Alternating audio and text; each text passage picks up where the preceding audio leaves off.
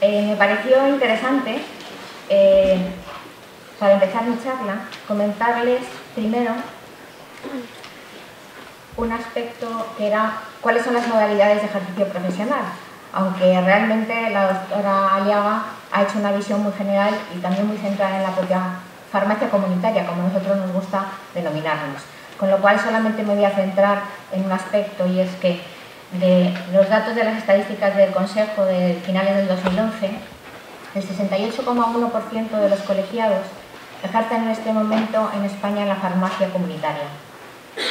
Eso quiere decir que somos un colectivo bastante importante en cuanto al desarrollo de nuestra profesión. Por otro lado, me había parecido, y puesto que entre los asistentes el doctor Caro nos había comentado que estarían también estudiantes, comentarles que en base a la, ley de 16 del 97, en el cual se incluyen los servicios básicos que debe realizar la farmacia comunitaria, solamente de toda la cadena, de, digamos, del medicamento, tan solo en lo que es investigación y desarrollo, no interviene el farmacéutico comunitario. En el resto de esa cadena, tanto en la formulación magistral a través de la fabricación, en toda la gestión de stock, adquisición, custodia, conservación, caducados, la distribución, eh, etcétera, etcétera, participamos eh, dentro del desarrollo de nuestra labor profesional. Y dando este pequeño pincelada un poco por posicionarnos como farmacéuticos comunitarios dentro del colectivo de la profesión farmacéutica, me gustaría explicar qué es la Sociedad Española de Farmacia Comunitaria. En primer lugar, bueno, es una asociación de carácter científico profesional de ámbito estatal, independiente y sin ánimo de lucro, Está integrada por farmacéuticos que ejercen su actividad en la farmacia comunitaria o tienen interés por colaborar en ella. En este momento también estamos valorando, dentro de, nuestros foros de trabajo interno, la posibilidad de aquellos alumnos que estén en el último curso de su carrera de farmacia y que puedan tener acceso a determinados contenidos de eh, nuestra página web y de nuestra sociedad de una manera gratuita, porque entendemos que es una manera de acercarles también a lo que se van a encontrar un poquito más adelante. ¿Quiénes somos y cómo es nuestra organización? Nuestro, órgano de gobierno es una asamblea general, eh, tenemos un órgano de representación a través de una junta directiva, en este momento ya somos cerca de 2.000 socios, tenemos un equipo, un staff impagable de 5 personas eh, que trabajan con nosotros y 8 delegaciones a nivel nacional. ¿Y cuál es nuestra misión? Pues nuestra misión es provocar y liderar el cambio de orientación de la farmacia comunitaria, desde la gestión del medicamento a la prestación de servicios profesionales al paciente que toma medicamentos. Esa es nuestra misión y realmente creo que está en línea con todo lo que se ha dicho eh, previamente en esta sala. ¿Y cuáles son los ejes en los cuales nos vamos a centrar? Por un lado, potenciando el ejercicio profesional del farmacéutico comunitario y ayudando al desarrollo de sus competencias, procurando su reconocimiento en el entorno de salud y la sociedad. Por otro lado, también ayudando a mejorar la calidad asistencial en la farmacia comunitaria, contribuyendo al uso eficiente y seguro de los medicamentos,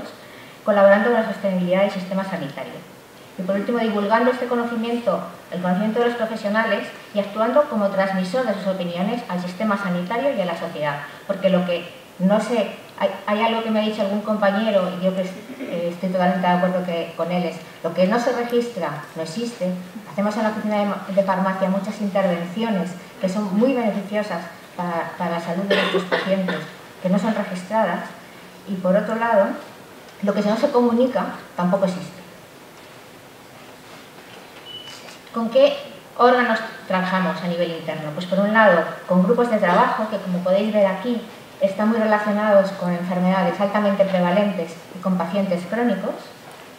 a través de comisiones en las cuales también podéis ver que están totalmente en línea con aquellos aspectos que también el Consejo está desarrollando, porque son aspectos importantes dentro del desarrollo futuro de nuestra profesión farmacéutica.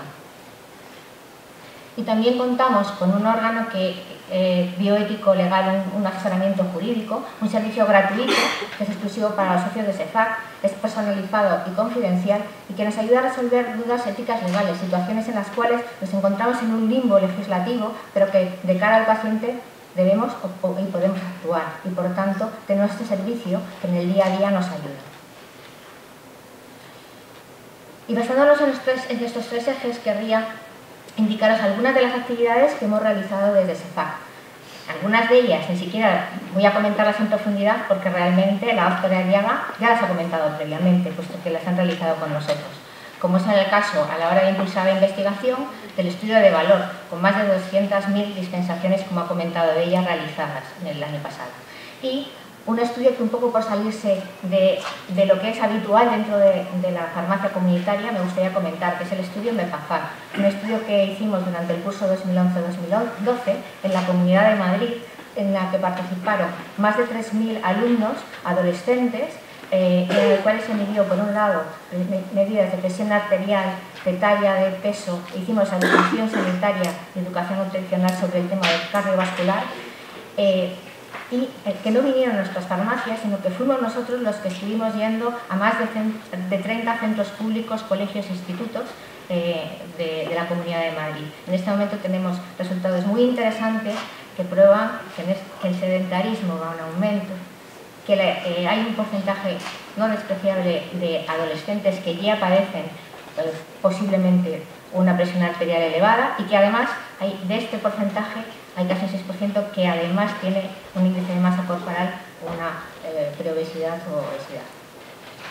Aquí tenéis eh, otros estudios en los que desde SEFAC se ha participado.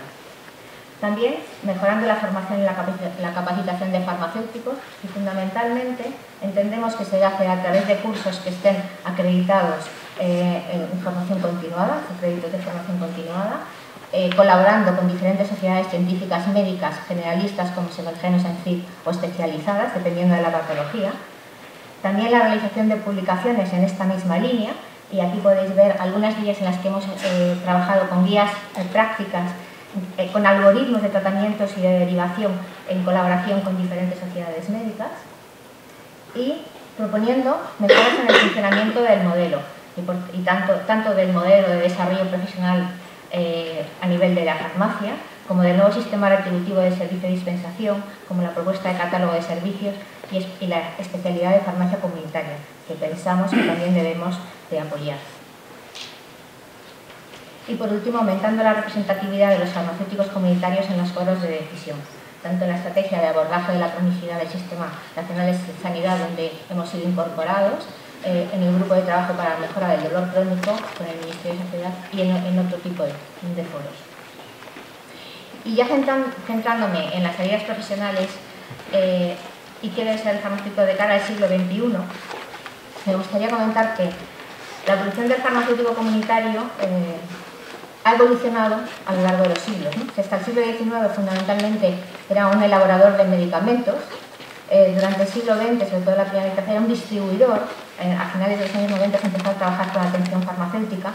En el siglo XXI entendemos que debe ser un proveedor de servicios, que debería estar basado fundamentalmente, implicarse más en labores sanitarias de apoyo a las necesidades de asistencia y aportar más soluciones en materia de cuidado de salud. Tener en cuenta que desde el Ministerio el nuevo modelo de gestión de paciente crónico eh, está aquí especificado en la parte izquierda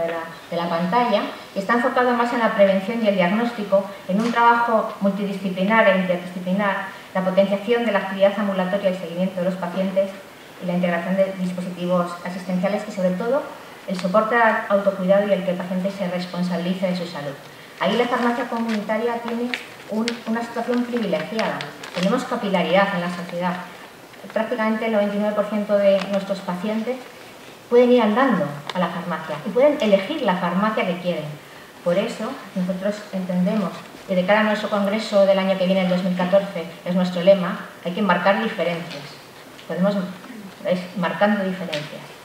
Y por tanto, debemos de cara al siglo XXI entrar en campañas sanitarias y reforzar esas campañas sanitarias y otros programas de salud pública, cooperar con los equipos de atención primaria especializada, el seguimiento y control de pacientes fuera del ámbito hospitalario del centro de salud la integración con el sistema sanitario a través de la renta electrónica que nos permite una comunicación directa con todos los médicos, especialistas y todos los profesionales sanitarios y un soporte al autocontrol de patologías crónicas y sobre todo estas patologías que durante años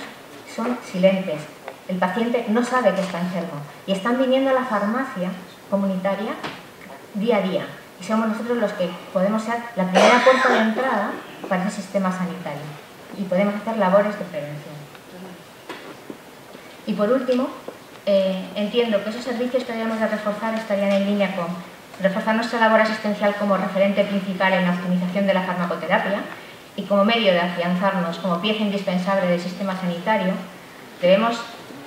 salir, que no nos ocurra que nos pongan un dispensador robotizado, como ha ocurrido esta semana en un hospital de Madrid, no nos podemos nos seremos sustituidos. Debemos hacer valer nuestro valor como profesional. Debemos estar al lado del paciente y ser, generar esas eficiencias que ha ido comentando la doctora Aliaga. Y por tanto, bueno, aquí tenéis una serie de actividades en las cuales, cuales creemos que debemos estar involucrados. Pues la promoción de la salud y la prevención de patologías, la adherencia terapéutica, este seguimiento farmacoterapéutico, el apoyo del autocontrol y el seguimiento de patologías a través de controles biológicos. Ya como conclusiones, creo que me atengo al, horario establecido,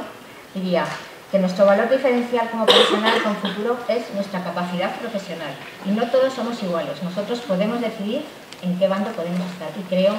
que somos personas eh, muy bien formadas y que debemos de nos deben de aprovechar como, como profesional sanitario. Desde la universidad se debe reforzar la formación del futuro farmacéutico en los servicios profesionales de atención farmacéutica. Desde SEFAR queremos reforzar la, labor asistencial del farmacéutico comunitario como referente principal de la optimización de la farmacoterapia. Y desde SEFAR queremos liderar el cambio de orientación a una farmacia comunitaria de prestación de servicios profesionales al paciente que toma medicamentos. Y por eso hace dos días también hemos hecho unas jornadas centrándonos también en cambio de retribución. Intentamos estar en aquellos aspectos que pensamos que el farmacéutico comunitario debe de, expresar su opinión. Nada más, daros las gracias por vuestra atención y desearos a los que estáis a punto de acabar la carrera o estudiando, habéis elegido una profesión preciosa y mucha suerte a todos.